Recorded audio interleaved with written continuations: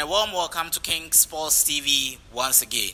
In today's video, we are going to take a look at the highlights between Ghana's Dreams FC and Mali's star, Stade Malien in the CAF Confederation Cup quarter-final first leg clash. If you haven't subscribed to the channel, please subscribe to the channel and turn on the notification bell for more updates. Let's enjoy the highlights.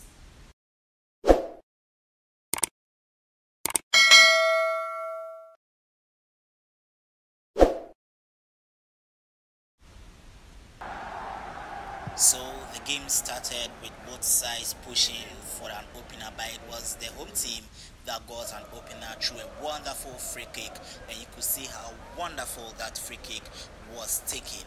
You could see the excitement, the coach telling his players and the fans to calm down, calm down.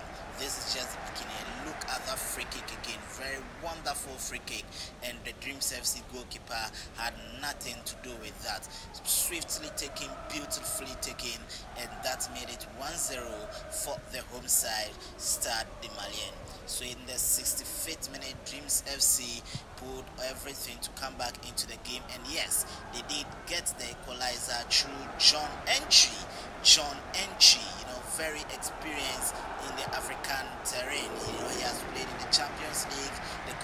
Confederation Cup, and yes, today he is leading Dreams FC as the captain of the side as they got the equalizer against uh, Malien in Mali in the first leg of the Confederation Cup.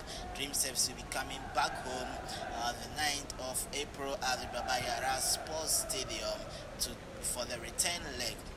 And look at how that goal came. John Antwi, right position there to get the equalizer for the visiting team, Dreams FC. At this point, it was Stade Malien 1, Dreams Football Club 1. Don't forget to subscribe to the channel, turn on the notification bell for more updates. So just minutes after the first, the Dreams FC equalizer, Dreams FC again had the second goal as Abdul Aziz Issa shot was blocked. Abdul Aziz Issa won the under 20 African Games with the Black Satellite of Ghana.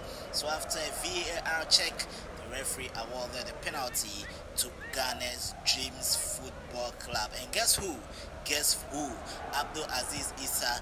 Um, the shot was going straight to the goalkeeper, but the Stade